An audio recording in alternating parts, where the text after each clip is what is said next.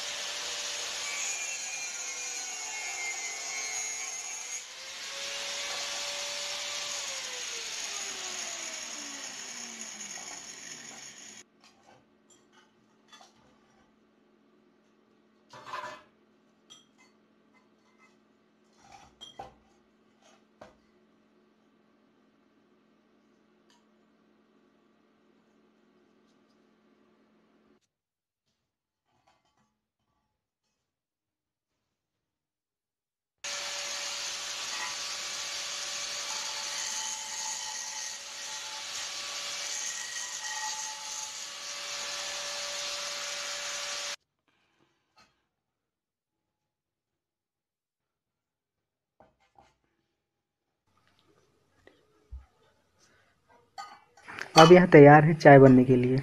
आइए चाय बनाते हैं।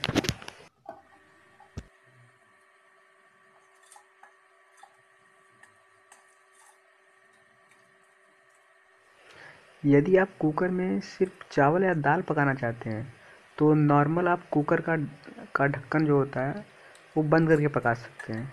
लेकिन यदि आप उसके भाप का यूज़ करना चाहते हैं तो आप इस तरह का ढक्कन भी लगाकर चाय भी बना सकते हैं और पानी भी गर्म कर सकते हैं। दूध, पानी।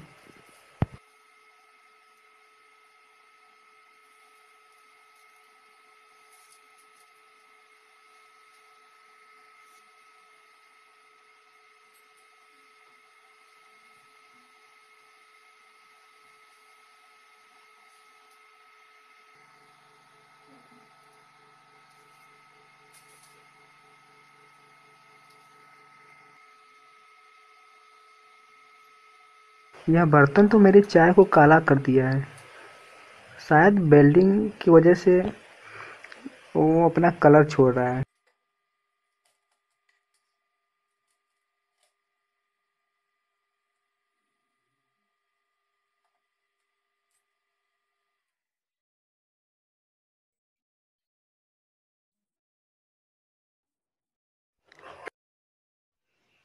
पहले मैंने इस तरह का बर्तन बनाया था। इसकी लोहे की सीट पतली थी, इसलिए यह कुकर में रखने पर कुकर के भाप को रोक नहीं पा रहा था और यह काम नहीं किया। और बेल्डिंग करने में भी प्रॉब्लम हो रही थी।